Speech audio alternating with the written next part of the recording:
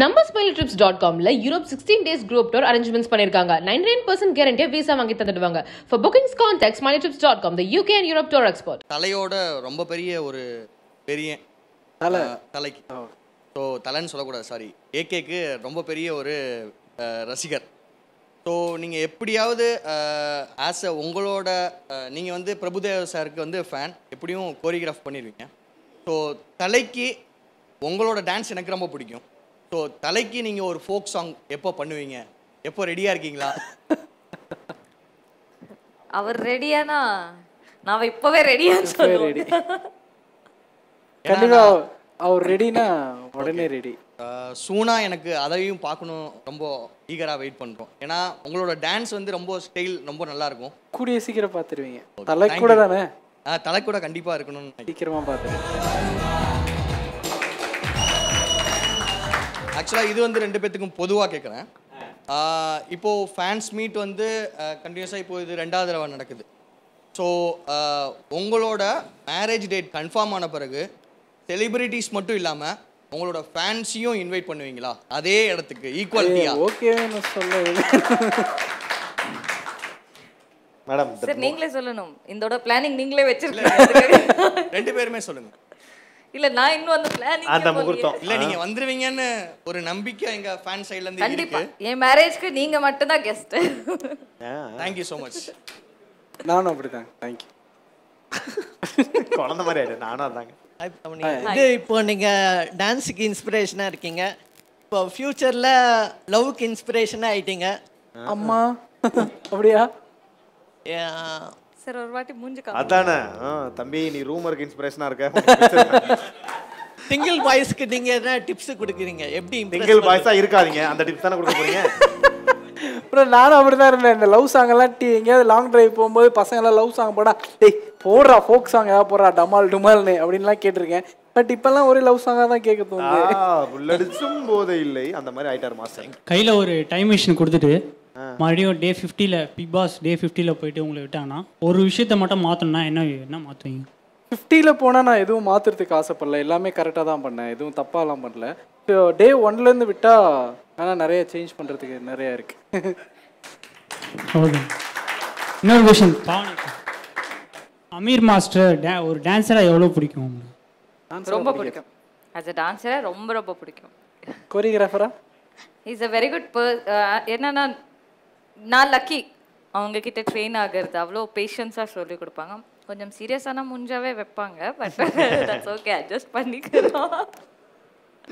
அப்படி சொன்னாதான் கேப் கேட்போம்னு தெரியும். நீங்க பிக் பாக்ஸ்ல வந்து ஒரு நியூ லைஃபுக்காண்டி போனீங்க. இப்போ நீங்க ஃபியூச்சர் ஒய்ஃபையே பிடிச்சிட்டு வந்துட்டீங்க. அதை பத்தி நீங்க என்ன நினைக்கிறீங்க? லைஃபுக்காண்டி போனீங்க லைஃப்ல கிடைச்சிருச்சு அப்படின்னு சொல்றாப்ல அதை பத்தி என்ன நினைக்கிறீங்க? ஆக்சுவலி நான் பிக் பாஸ்க்குள்ளே போனது பிக் பாஸ்ல இருந்தது. இப்போ வரைக்கும் என்னோட ஒர்க் என்னோட லைஃப்காக எல்லாம் பண்ணிட்டு இருக்கேன்ல அது அது அந்த ட்ராக்கே வேற அது அது டோட்டலாக வேற. இவங்க வந்து போனஸ் பாயிண்ட் போனஸ் பாயிண்ட் ஆமா. என்னங்க?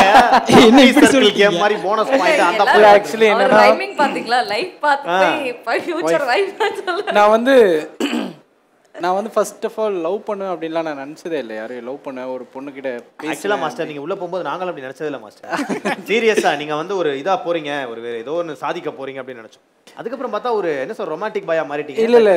வேற மாதிரி ஒரு ஒரு பரிமாணத்தை காட்டிட்டீங்க. ஆக்சுவலி நிறைய என்னோட டீம் என்னோட ஃப்ரெண்ட்ஸ் எல்லாருமே பார்த்துட்டாங்க என்னோட ஃப்ரெண்ட்ஸ் யாருமே வந்து நான் ஒரு பொண்ணுகிட்ட லவ் பண்ணி அந்த பொண்ணுகிட்ட மெசேஜ் பண்ணி ஃபோன் பண்ணி இதெல்லாம் யாருமே பார்த்து யாரும் பார்த்துருக்க மாட்டான் நான் ரொம்ப ஸ்ட்ரிக்டான பர்சனாகவே எல்லாருமே பார்த்து முடிச்சிட்டாங்க.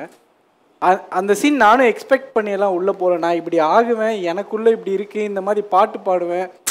இந்த டைமிங்க்கு ஒரு பாட்டு பாடுவேங்கிற விஷயம்லாம் எனக்கே தெரியும் எனக்குள்ளே இருக்குன்னு எனக்கே தெரியாது. அது உள்ளே போய் ஆக்சிடெண்ட்டாக உண்மையாலுமே இவ்வளோ பிடிச்சது எனக்கு. ஃபஸ்ட்டு நான் போகிறதுக்கு முன்னாடியே பிடிச்சது எனக்கு. நான் உள்ளே போய் பார்க்கும்போது க- ரொம்ப ஒரு ஃபோர் ஃபைவ் டேஸ் பக்கம் நான் ரொம்ப கண்ட்ரோல் பண்ணி இருந்தேன் ஒரு சின்ன விஷயத்தில் அது பிரேக் ஆகி டப்புன்னு வந்துருச்சு. அது இவங்களும் என் பிரியங்காக்கா தான் ஃபஸ்ட்டு கேட்டாங்க என்னடா சொல்கிற அப்படின்னாங்க.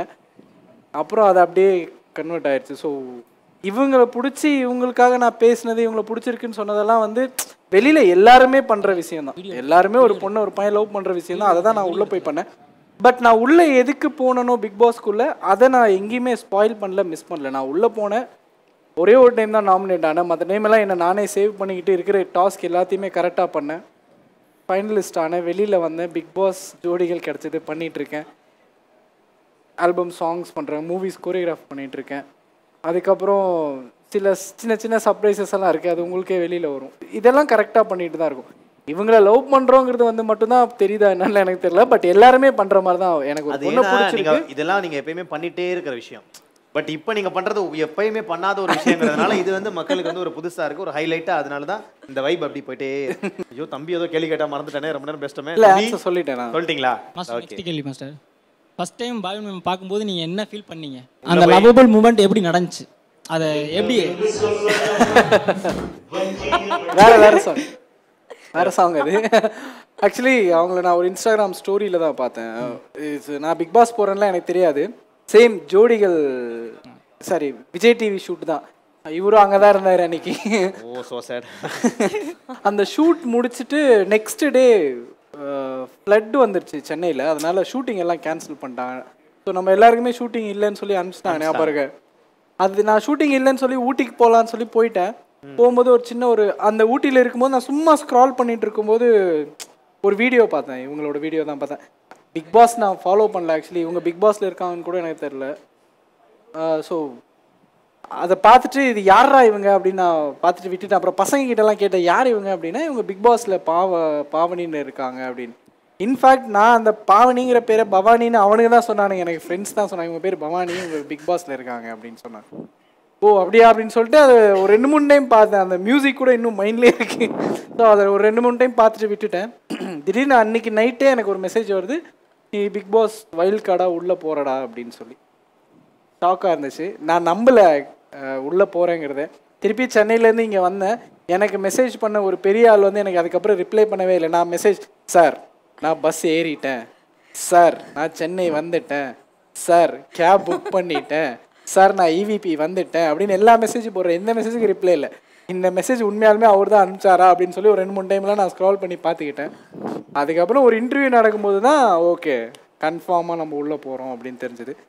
அந்த வீடியோவில் பார்த்தது தான் ஃபர்ஸ்ட் இன்ஸ்பிரேஷன் இம்ப்ரெஸ் ஆனது அவங்கள பார்த்து. ஆனால் மாஸ்டர் உங்களை ஃபர்ஸ்ட் டைம் பார்க்கும்போது பிக் பாஸில் பார்க்கும்போது உங்களை பார்க்கும்போது ஒரு பொறாமையாக இருந்துச்சு. ஏன்? அவங்க உங்களுக்கு கிடச்சிட்டாங்க அப்படிங்க ஏன்னா அவங்க நாங்கள் எங்களோட ஃபேன் அவங்க. அவங்களோட ஃபேன் உன்னோட ஃபேன் இவங்களா. என்ன ராஸ்கல் பேசிக்கிறீங்க சாரிண்ணா அவங்களோட ஃபேன் நாங்க. ஓகே டங்க் ஸ்லிப் நான் ஆயிடுச்சு. கிடைக்கல அவங்களுக்கு. இன்னும் கடிக்கல அட்லீஸ்ட் ஒரு ஃப்ரெண்டாவது கிடைச்சிட்டீங்க. நம்ம ரெண்டு பேரும் ஒன்றா இருக்கோம். அதுக்கு முன்னாடி பார்த்தது இல்லையா நீங்க? சீரியஸா அவங்க சின்ன தம்பி. அவங்க விஜய் இது இது வேணா. இது வேணா கட். பண்ணிக்கலாமா?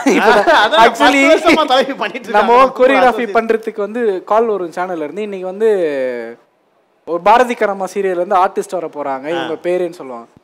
அவங்க பேர்லாம் எனக்கு சொல்லாதீங்க. அவங்க இன்ஸ்டாகிராம் ஐடிஸ் இல்லைனா ஏதாவது அவங்க டான்ஸ் ஆடி இருப்பாங்க அந்த வீடியோ அனுப்புங்க அப்படின்னு சொல்லி. எனக்கு யார் எந்த ஆர்டிஸ்ட் எந்த சீரியல்ல பண்ணிட்டு இருக்காங்கன்னே சத்தியமா தெரியாது. வெரி பேட் வந்து உள்ள கூட என்ன இதேதான் கேள்வி கேட்டிருக்காங்க. என்ன சீரியல் பண்ணிருக்கீங்க நீங்க? எப்படி பார்க்கலையே.